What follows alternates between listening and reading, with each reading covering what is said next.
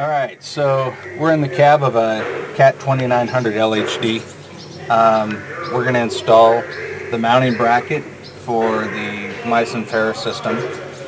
One of the things we want to be careful of is not to just blindly drill through this dashboard.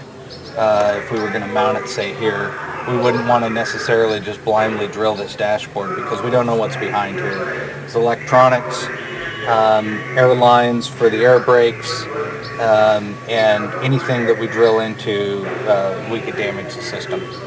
So one of the things also is we want to make sure not to block any visibility. So if there's already existing visibility, the operators are going to expect to have that same visibility available to them. So there's a blind spot from, from the ROPS on this side to the air cleaner on this side. This is a really good place, some really good real estate to put a control panel. Um, in addition to, I guess, warnings about drilling on the machine, never, never drill into the ROPS. ROPS are rollover protection system. So on these four corners, you've got ROPS that are rollover protection. And, and if you drill into those, it voids the manufacturer's warranty. We think we're going to mount this one right here on this access panel.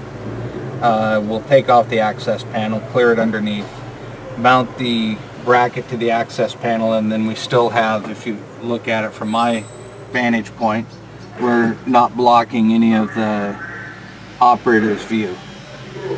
So, in addition to that, two-way radios on the back have a type of a connector plugged into them called an SAE.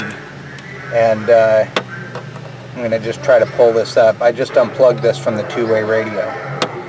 Included with the kits we have an SAE cable, so what we're going to do is take that cable and we're going to turn it into a Y, Y connector. Um, so we're pulling 24 volts on the red, power, and uh, ground on the black.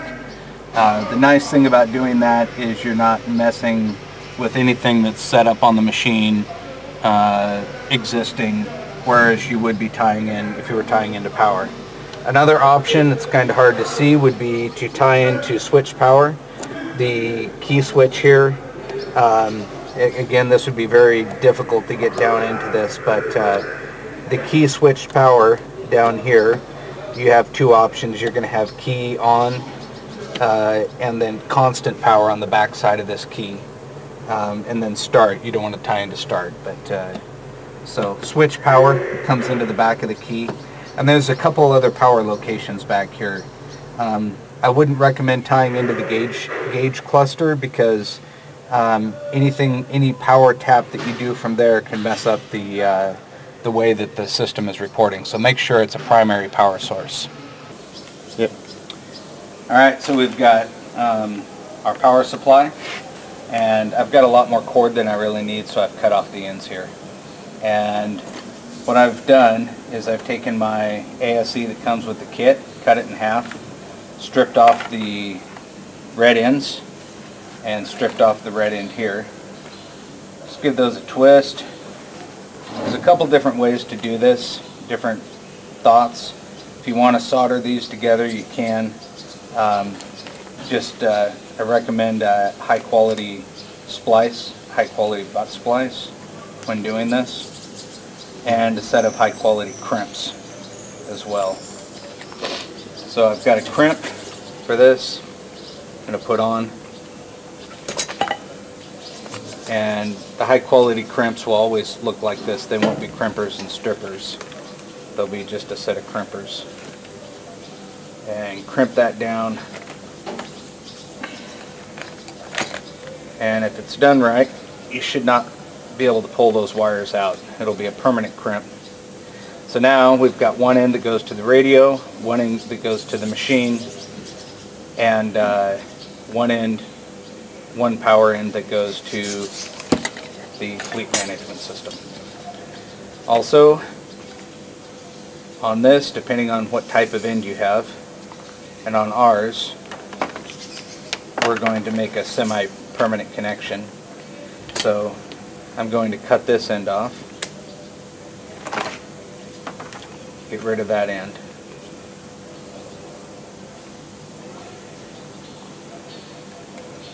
strip that down. So the outside is ground here, and the inside is power.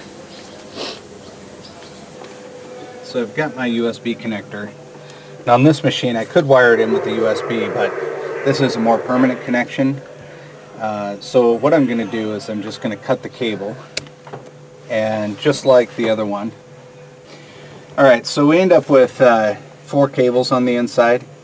Uh, red, black, green, and white. So the green and white are data and if you're using this uh, mounting bracket that comes with the kit, uh, there's no data transmit to that mounting bracket. So we can just cut those off. They just come with the cord. And then we're left with uh, black and red. So black and red are obviously our ground, black and red power. Red marries up with the white from the converter and black marries up with the outside cable from the converter which is just silver, the jacket cable.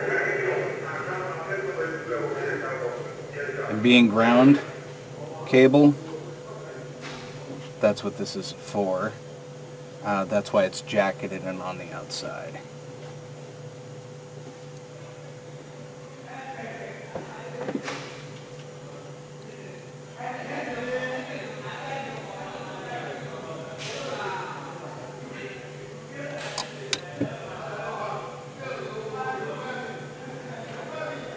Again, please remember to pull on those cables.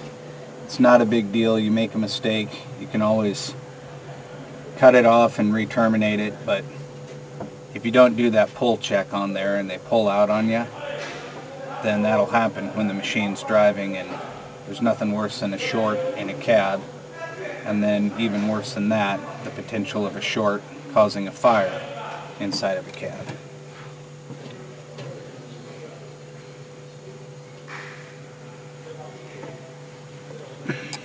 Okay, so now I have our power system. Power in, power to the radio, our Y connector goes through a fuse. Fuse goes provides power to our DC to DC converter.